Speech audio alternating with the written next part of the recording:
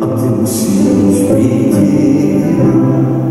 lebo my tě babu. A ty musíš být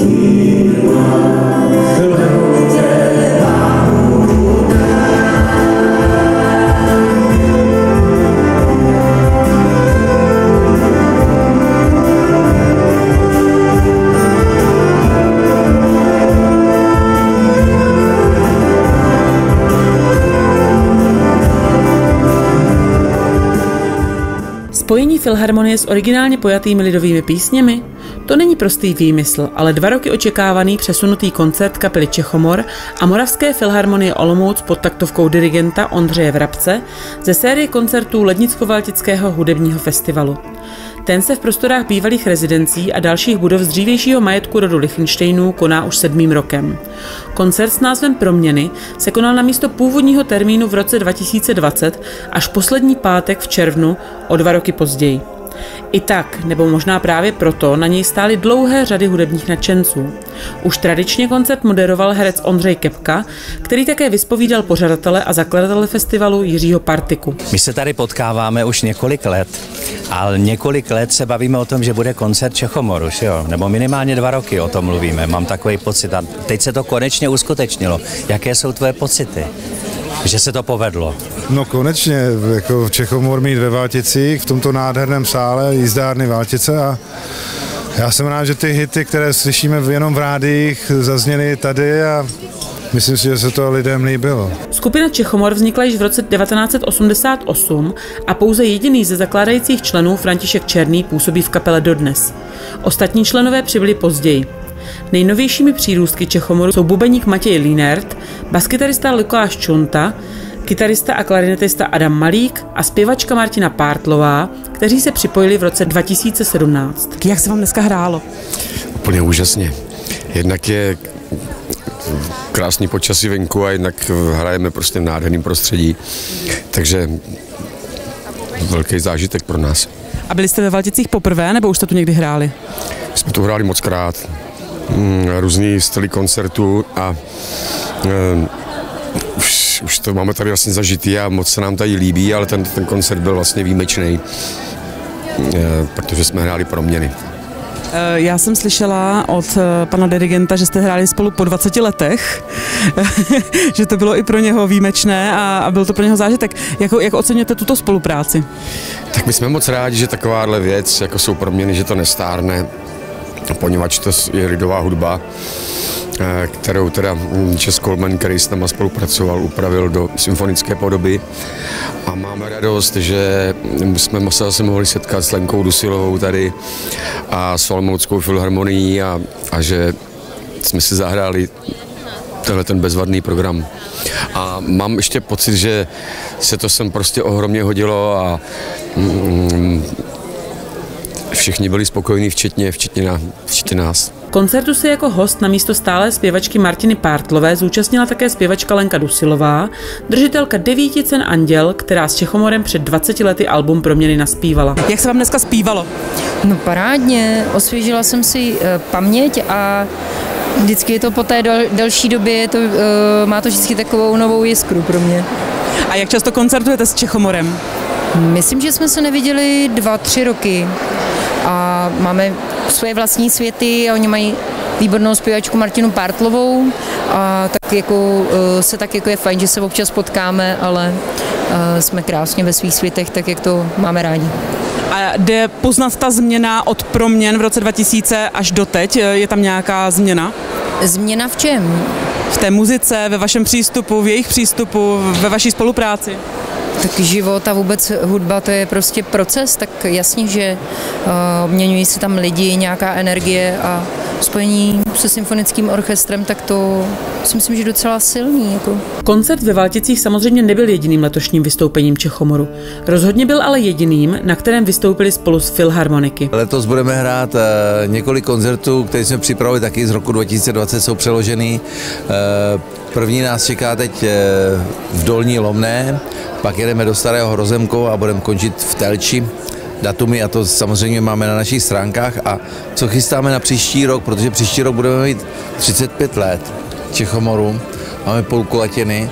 Uh, takže něco hezkého připravíme, ale aby jsme vám teď řekli, co přesně, to, to úplně, máme několik jako bodů daných, který chceme jako dotáhnout do konce, ale uvidíme, který body se nám z toho jako opravdu splnějí. A ty koncerty, eh, které chystáte na tuto sezónu, eh, budou taky z Filharmoniky, nebo aspoň některý z nich? Ne, ne, ne, to je takzvaný československý večer, protože ono, jak se ten svět celý rozděluje, jako je několik tady pohlaví, eh, který nevíme, který jsou, tak chceme to právě spojit, tak jsme si řekli, že uděláme jako československý večer, vrátíme se k tomu Československu a pozvali jsme si na ty koncerty Kandráčovce ze Slovenska, Voxela od nás a vždycky v tom místě, kde hrajeme, tak nějakou místní kapelu aby jsme udělali takový, takový malý rodinný festiválek, Československý večer jsme to nazvali. Takže se na to moc těšíme.